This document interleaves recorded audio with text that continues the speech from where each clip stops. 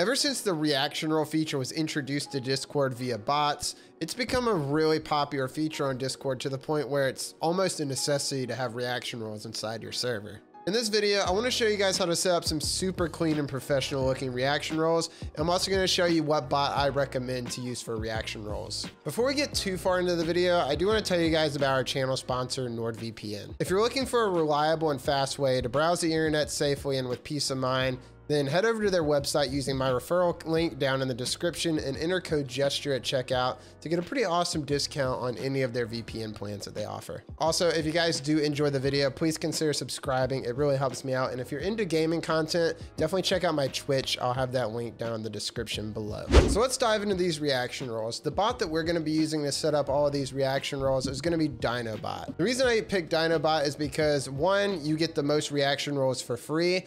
Um, a lot of bots like MEE6 only limit you to two reaction roles per unless you have premium. And among a lot of the other bots that do offer free reaction roles, DynoBot's more the more professional looking one with a really clean looking UI. Once you head over to DynoBot, come down here to whichever server you're going to be using. For me, I'm going to be using the test my test server. And then what you're going to do is you're going to click on modules and you're going to find reaction roles. For me, it's up here at the top and just click settings. You guys will see I already have a test role set up here, what it looks like over my server is just like this. What's cool about this bot is that you can actually, if you don't want the message, the reaction role message to be sent from a bot account itself, you can actually choose it to be from an existing message. So like this, this is a message from me but if you click on it, it gives me all of the, like it's fully set up with reaction roles. So it's really cool that if you don't want a bot, like the message to come from the bot, you can make the message come from your own account. Now back over to the bot's website, you're going to give a name for your uh, reaction role message. For this, we can just do test roles. Up next, you get to choose what channel you want the message to be in and also what type of message you want it to be. I'm going to use general channel for mine and you can select it to be either a plain message, you can select it to be an embedded message, which if you don't know what embedded message is, it's going to look something like this. It's going to come from the bot and it's going to have this blue line and it's going to look a little bit different than a normal message would inside Discord.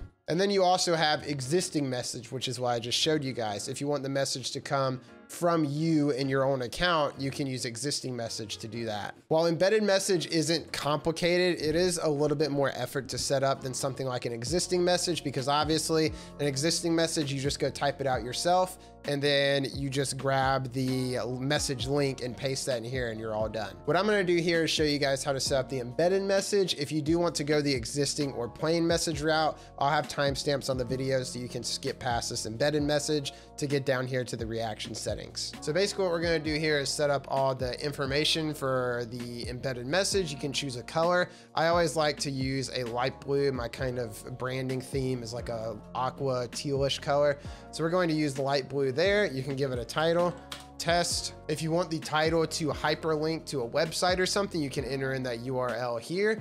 And then we're also going to type a description. You'll be able to see down here at the bottom, you're gonna get a live update of everything that you're typing. What I like to do for the description is basically lay out a all the emojis that you can react with. So in this case, I have a bunch of color roles set up. So we'll do a red circle and then we'll use a arrow emoji. And then we're going to uh, do at red and we're gonna see if this gets it to ping the role so it adds more color to the message. I'm not sure if it can.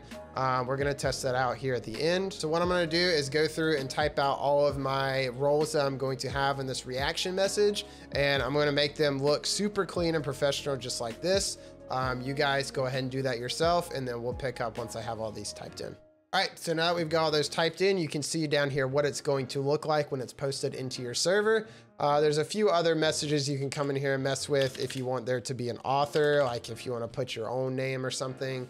Um, and any other, you can add a thumbnail to the message, a footer to the message at the bottom. Lots of different ways you can customize it. I'm not going to do any of that, but you're more than welcome to if you want to.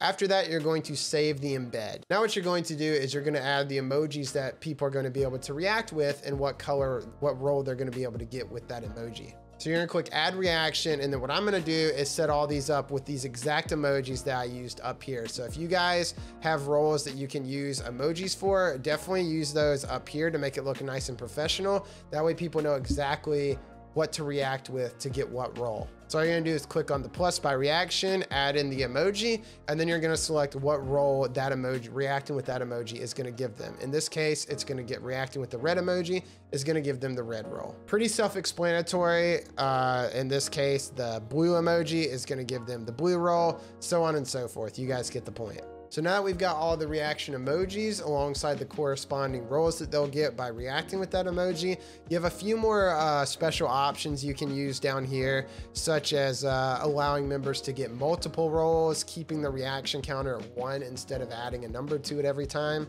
So feel free to check those out. If that's something you guys want to do. For me, I don't want to set any of those up. So all I'm going to do is click save. As soon as you click save, if you set everything up right, you should get the success message. And now if we head back over to our server, you're going to notice that if you did an existing message, it should look like this. It should have added reactions to the message that you already sent. Or if you use the bot embedded message, then it's going to look something like this. Now, unfortunately, even though on the bot's end on the website, it looks like it's actually adding the at mentioning the role and it's going to show a little more color it doesn't look like it went through and did that in the actual embedded message. So if you guys want to add a little more color and flair, I definitely recommend something like this. I definitely recommend doing an existing message. That way you can get a little more color and pizzazz in there. You know what I mean? And then if you want to test it out, you can react to the message and you should get the red role as you notice I just did. And then if a user wants to get rid of that role, all they have to do is react to it again and it'll take the role away from them. So really not too complicated to get some reaction roles set up inside your Discord server. Hopefully this video helped you. If it did, please consider dropping a like to help share the video with other people, as well as dropping a subscribe on the channel if you want to keep up to date with all the other Discord content that I do. If you guys have any questions or concerns about anything, definitely drop them in the comments below, or you can consider joining my Discord via the link in the description or in the pinned comment. I hope you guys have a great rest of the day. Thank you for watching. I really appreciate it, and I'll see you in the next one. Peace.